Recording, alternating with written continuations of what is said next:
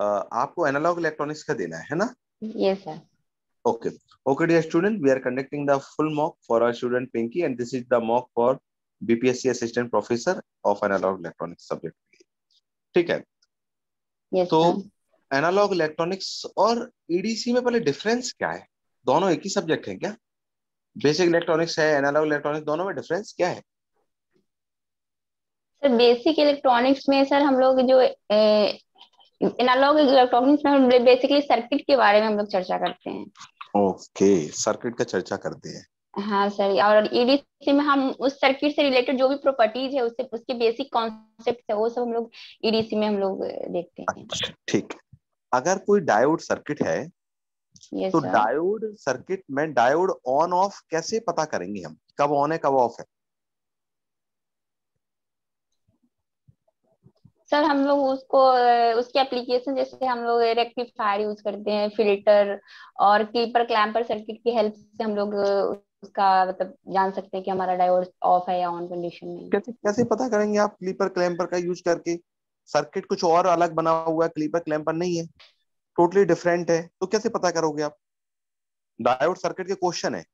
Diode circuit के question किए होंगे आपने? यस है सर ना तो डायोड सर ये ये सर ये ये सर सर मैं बताती हूँ जैसे सर जैसे हमारा डायोड अगर हमारा फॉरवर्ड बायस में जैसे हमारा जो कैथोड और एनोड टर्मिनल्स है डायोड का अगर। हमारा जो पॉजिटिव टर्मिनल डायोड का है वो वो किसी सप्लाई के जैसे साइनसोइडल वेव फॉर्म है हमारा तो उस जो जो डायोड का पॉजिटिव टर्मिनल है वो पॉजिटिव हाफ़ साइकिल से अगर उस पे डायोड पर अगर कोई पॉजिटिव हाफ़ साइकिल जाता है तो हमारा जो डायोड है वो कंडक्टिंग स्टेट में आ जाता है। तो हम लोग जानते हैं कि हमारा डायोड ऑफ़ है। वैसे ही अगर जब निगेटिव हाफ़ साइकिल जाएगा हमारा तो हमारा डायोड क्या होगा?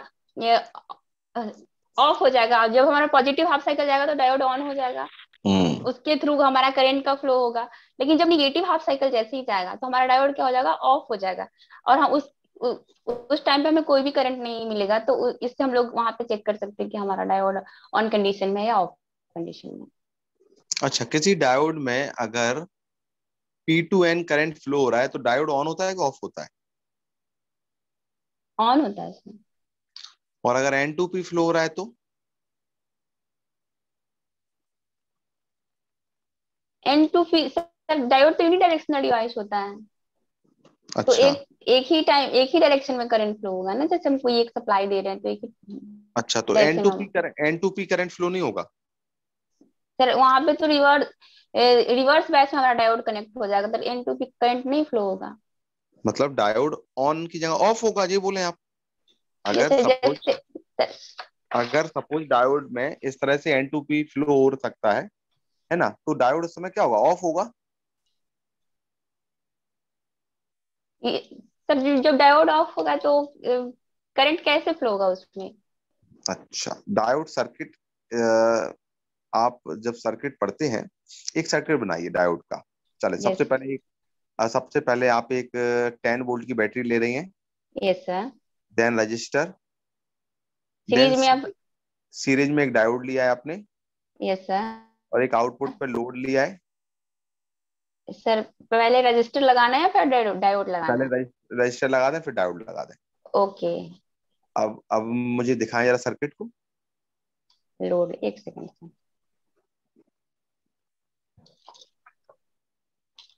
ठीक है।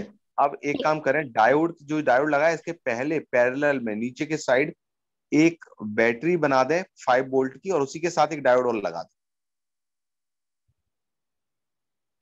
सर कहाँ पे बोल रहे हैं आप? यहाँ आ, हाँ नीचे के साइड नीचे कनेक्ट कर दें इसको नीचे नीचे। हाँ इधर। हाँ नीचे के साइड हाँ वेरी गुड कनेक्ट करें बैटरी फाइव वोल्ट की। ओके और एक डायोड ऐसे। हाँ हाँ दिखाएँ दिखाएँ दिखाएँ जरा।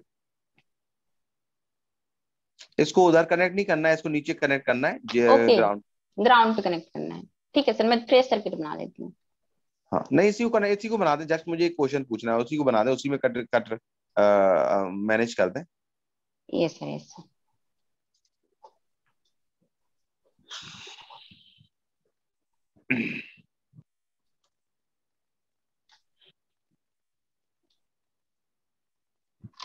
sir इधर इधर का सर्किट है। ठीक है वेरी गुड अब इस okay. इसमें दो डायोड हैं आपके तो इट मे बी चांस कि कोई डायोड ऑन हो कोई ऑफ़ हो। तो एक डायोड से करंट जाएगा दूसरे से नहीं जाएगा। जो आप बोल रहे थे ना कि सर आप जो diode N to P current जा रहा है तो उस समय अगर डायोड पे उस डायरेक्शन में करंट आ रहा है तो पर्टिकुलर वो डायोड ऑफ़ हो जाएगा नहीं हो जाएगा? सर यहाँ पे सर हमारा पॉजिटिव टर्मिनल का अगर वोल्टेज हमारा ज़्यादा है नेगेटिव टर्मिनल के रेस्पेक्ट में तो हमारा डायोड ऑन हो जाएगा। ठीक है और डायोड ऑफ़ कब होगा? जब हमारा पॉजिटिव टर्मिनल का वोल्टेज निगेटिव टर्मिनल के रेस्पेक्ट में कम है तो उस टाइम पे हमारा डायोड ऑफ़ हो जाएगा। हाँ तो आ, हो सकता है दोनों डायोड में एक डायोड ऑफ़ हो तो दूसरा ऑन हो जाए। सर इस केस में तो सर पॉसिबल यहाँ पे तो सर दोनों यहाँ टेन वोल्ट हमने सप्लाई पे दिया है और इधर फाइव वोल्ट लगा हुआ है। तो यहाँ हमारा पॉजिटिव टर्मिनल का जो वोल्टेज है सर टेन वोल्ट यहाँ पे सर यहाँ पे जो डायोड डी वन जो सीरीज़ में लगा हुआ है वो ऑन कंडीशन में हो जाएगा यहाँ। हम्म। ठीक है? और और ये भी डायोड हमारा सर ऑन कंडीशन में होगा क्योंकि यहाँ पे यहाँ पे ग्राउंड से कनेक्टेड है सॉरी ये रिवर्स बायस में हो जाएगा और ये हमारा नेगेटिव वोल्टेज है हमारा ज़ीरो है तो यहाँ पे रिवर्स बायस में हो जाएगा ओपन सर्किट के तरीके ठीक है ठीक एक बार देख मैं ओके ओके। रेक्टिफायर क्या है? सर रेक्टिफायर हमारा ऐसा सर्किट है जिसमें हम लोग कोई एसी सिग्नल को पल्सेटिंग डीसी सिग्नल में कन्वर्ट करते हैं। Pulsating DC. पल्सेटिंग डीसी क्या होता है? सर पल्सेटिंग डीसी वो मतलब ऐसा सिग्नल होता है जिसमें हमारा एसी और डीसी दोनों टाइप के कंपोनेंट्स प्रेजेंट होते हैं। एसी और डीसी दोनों टाइप के कंपोनेंट प्रेजेंट होते हाँ, हैं हाँ। एसी जा होता है और डीसी के कुछ पार्ट जैसे डीसी के कंपोनेंट्स भी प्रेजेंट होते हैं एज अ रिपल के रूप में। अच्छा तो इस केस में एक रिपल फैक्टर आता है। यस सर क्या है रिपल फैक्टर डेफिनेशन क्या होगी? Sir AC power upon DC power ऐसे करके। सर याद नहीं तो, अच्छा याद नहीं आया तो रिपल फैक्टर का होना अच्छा है कि बेकार है? सर जितना किसी भी सर्किट का रिपल फैक्टर जितना कम होता है उतना ज़्यादा अच्छा सर्किट माना जाता है। अच्छा कितना मिनिमम कितना आपने पढ़ रखा है? कितना आइडियल होना चाहिए मिनिमम जैसे फुल वेव के केस में शायद 1.2 1.21 होता है शायद सर। कंफर्म नहीं है अभी आप? हाँ सर कंफर्म नहीं है सॉरी अच्छा लोड लाइन पढ़ा है आपने? AC load line DC load line पढ़ा है कुछ?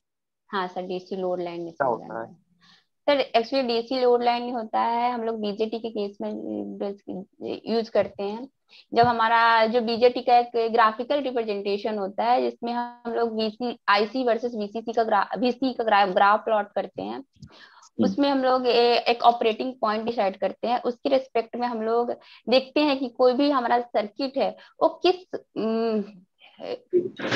किस मोड में हम मतलब ऑपरेटिंग पॉइंट के बेसिस पे हम लोग डिसाइड करते हैं कि हमारा जो आउटपुट है, हमारा कितना आउट सर्किट में कितना डिस्टोर्सन है, कितना वो एग्जैक्ट मतलब हमारा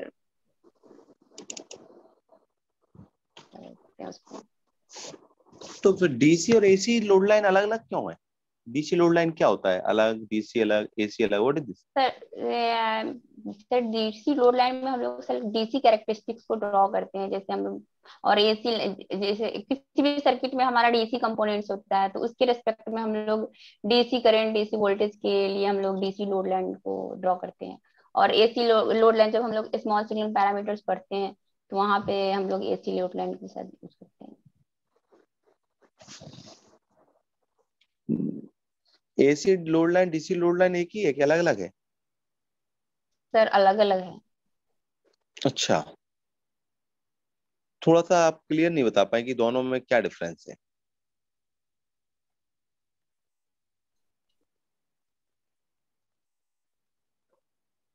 सर एग्जैक्ट डेफिनेशन तो सर मुझे याद पता नहीं है। अच्छा क्यू पॉइंट क्या होते हैं?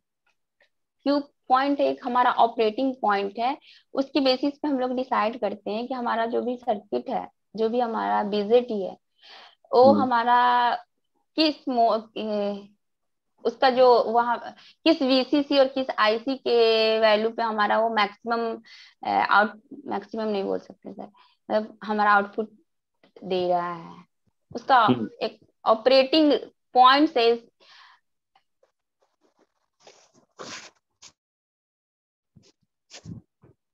नहीं हो रहा है? नहीं आपको याद आ रहा है? नहीं याद आ रहा है सर। ठीक है चलो कोई बात नहीं। तो मैं डिफाइन नहीं कर पा रही हूँ अदरवाइज़ डीसी रोड लैंड के बारे में मैंने पढ़ा है जैसे ओके कोई बात आपने ओपेम पढ़ रखा है?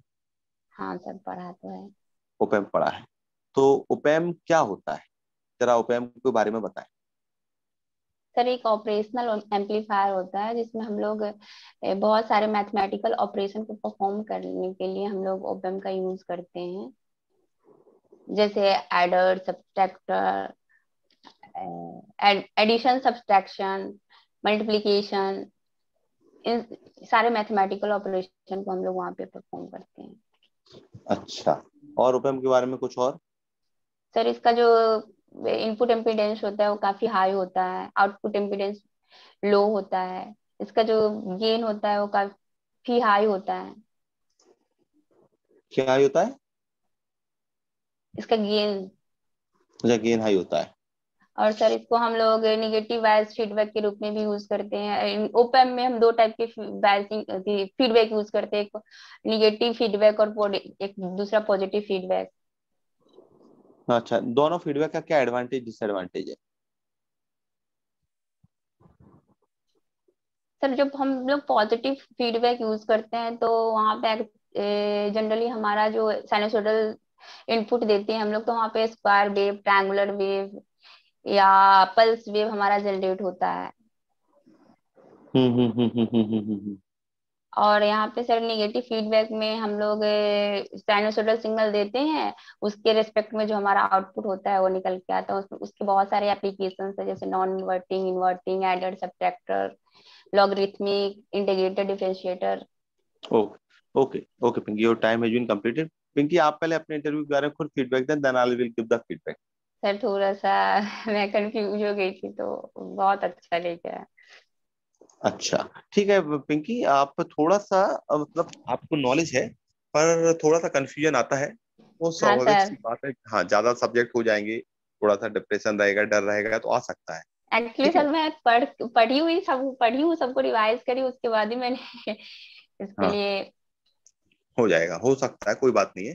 थोड़ा सा हमें वही है अपने डर को कम करना है और कैसे उस समय हमें सभी चीज़ें याद रहे इस पे काम करना है।